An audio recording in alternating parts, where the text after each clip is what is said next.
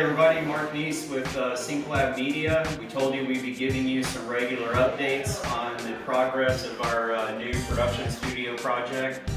So as you can see, we're uh, getting this room cleaned out. We've got the floor uh, almost prepared the way we want it. We still have uh, somebody coming in to uh, do a treatment to take up this adhesive and smooth out the floor, which uh, will be the base of our side wall set here.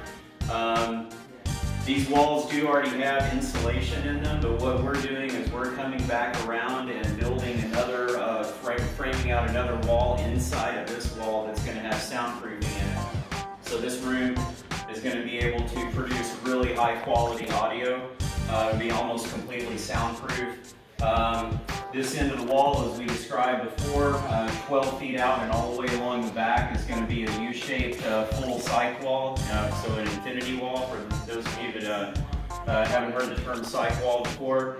Um, lights will be hanging from the ceiling. This is going to be a perfect environment for people to do regular video podcasts or any other type of video marketing content.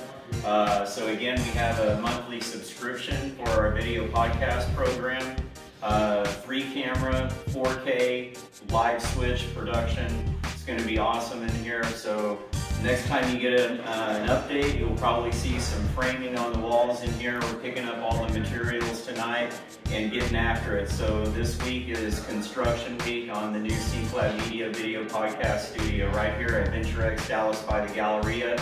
Hit us up if you're interested to know how we're doing this. A lot more information coming out this week. See you next time.